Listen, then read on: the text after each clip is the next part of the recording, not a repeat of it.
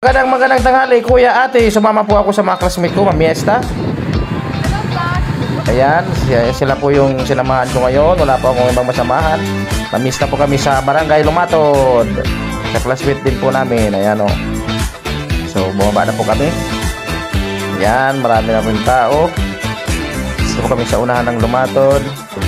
At syempre, pag mga pistahan, marami makakilala sa atin. Kaya, ayan, isang kapwa vlogger natin, si Rio Hilario. Pa-shoutout daw, ayan.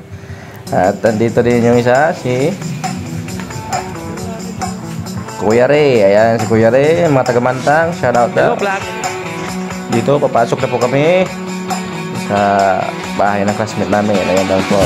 Bawas-bawas muna tayo sa mga karne. Ayan, salad muna at saka, ano, po yung salad. kainin natin pakwa so dito na po yung, mga, yung classmate namin yan.